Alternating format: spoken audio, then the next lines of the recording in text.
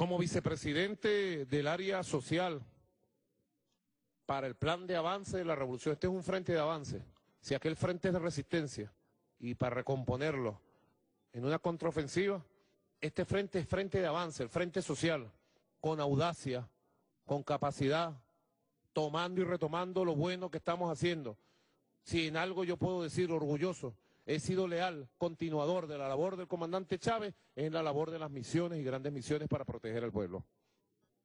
Y lo he logrado con tres años que no me han dejado gobernar, una guerra es lo que me han tenido. Todos los venezolanos que se puedan tocar el corazón ahorita, tóquenselo.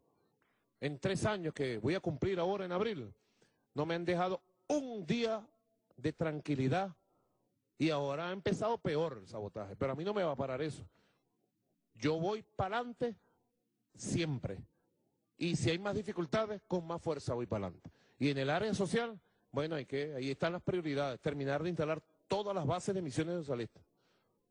Llegar al 100% de cobertura médica y de salud en barrio adentro. ¿Verdad? Impulsar el sexto grado productivo en la misión Robinson. Y echar adelante todas las misiones, grandes misiones. La misión Jóvenes de la Patria, la misión Cultura Corazón Adentro, la misión Hogares de la Patria, etcétera. Por eso he designado un hombre de experiencia, leal, trabajador, al cual le tengo que agradecer todo el trabajo y la lealtad de estos tres años.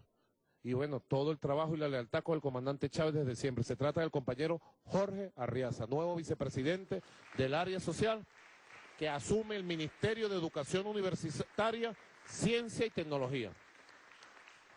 Jorge Arriaza también, profesor, graduado en la Universidad de Cambridge, perdón, en la Universidad Central, en la UUCB, posgrado en la Universidad de Cambridge, y bueno, mm, no podría decir no tengo palabras para agradecerle su lealtad absoluta, su trabajo permanente, un hombre que dialoga con el pueblo, tiene una paciencia infinita para dialogar, oír, es un hombre dialogante, además es trabajador de acción, conoce muy bien todo el área social porque una de las tareas donde yo lo encargaba y lo molestaba cada vez más, a toda hora del día y de la madrugada. Ahora va a ser ministro de Educación Universitaria, conoce muy bien el área de Ciencia y Tecnología, fue ministro de Ciencia y Tecnología el comandante Chávez. Un hombre con método de trabajo, con capacidad de trabajo, y ahora va a ser el jefe coordinador de la vicepresidencia de misiones y grandes misiones socialistas. En esa vicepresidencia estoy designando a la nueva ministra del Poder Popular para la Salud. Se trata de la doctora Luisana Melo. Bienvenido, compañera, doctora venezolana.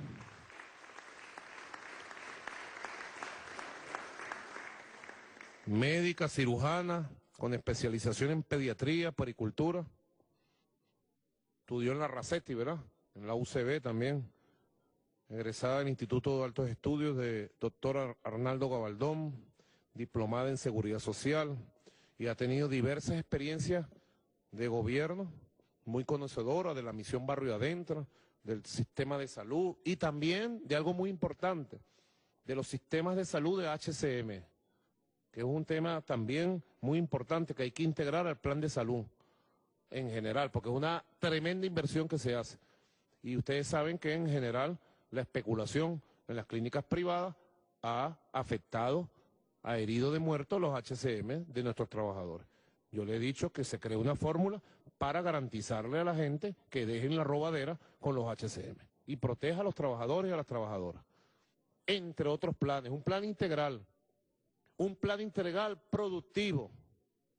Compañero ministro de Industria Pérez Abad, hermano, por el amor de Dios, reactivemos la industria farmacéutica venezolana con esfuerzo nacional, yo le hago un llamado a la industria farmacéutica. Esa reunión debería ser mañana mismo. Ya con ellos ha habido mil reuniones. Ya no hay que reunirse para estar diagnosticando nada, sino para ver cuál es el paso uno, el paso dos y el paso tres. Tenemos una industria farmacéutica de gran capacidad productiva. Y yo confío que los dueños de la industria farmacéutica no estén en la guerra económica. Confío. O envío un mensaje. Tiendo la mano a la industria farmacéutica venezolana para que trabajemos juntos. Y reúnanse mañana mismo. Y busquemos apoyo. También de China, de Cuba. ¿Mm? Ahora Argentina es difícil porque, bueno, la derecha sabotea toda la cooperación suramericana, integracionista, con Brasil. Y pongámonos en un plan de estabilización de la producción de los fármacos y la lucha contra el contrabando, porque sigue toda esta tendencia de contrabando hacia Colombia. Es brutal. Nos ha fallado la política comunicacional en comunicar eso. Toneladas y toneladas que hemos conseguido de todo lo que a ustedes se les puede ocurrir, de todo. Pero vamos a producir y veamos el plan y hagamos seguimiento cada semana. Se reactivó esto, se reactivó aquello, llegó tal cosa, la materia prima, lo otro ya estamos produciendo esto y la distribución, la nueva distribución. Hay que hacerlo, camarada. Igualmente, ministra, hay que activar con mucha fuerza, ministra del Poder Popular, el Poder Popular de la Salud, los comités de salud. Yo agradezco al compañero Henry que va a ir a unas nuevas tareas.